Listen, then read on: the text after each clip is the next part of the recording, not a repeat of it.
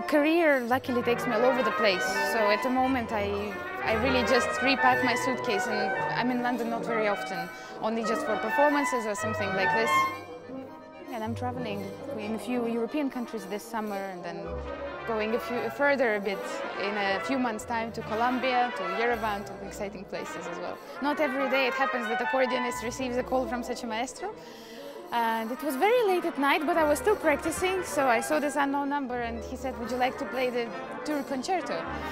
And I remembered I did it once. It was a, a, big challenge because it's a very complex work. Complex not only for the soloist but also for the orchestra.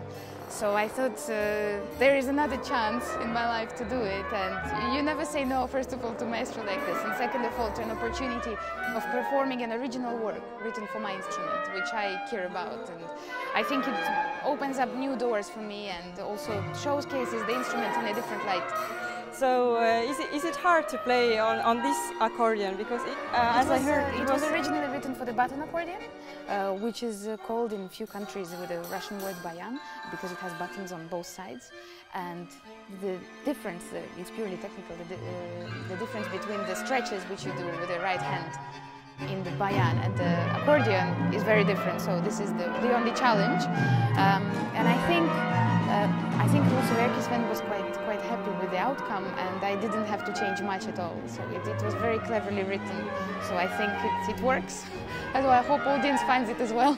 It's, it's a huge privilege, first of all, because unfortunately it's my first time in Estonia. I never made it here and I'm very, very excited and very happy. It looks, it looks homey to me because it's not very far.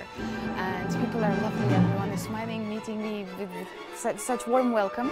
So I'm not only looking forward to just debuting here like this in such a wonderful, beautiful hall with Paavo Järvi and orchestra, which sounds great, but also playing the concerto, which was originated from here and I think it has a long way. Uh, many soloists become interested in it. So I hope that um, people will keep playing it and uh, showcasing it all over the world.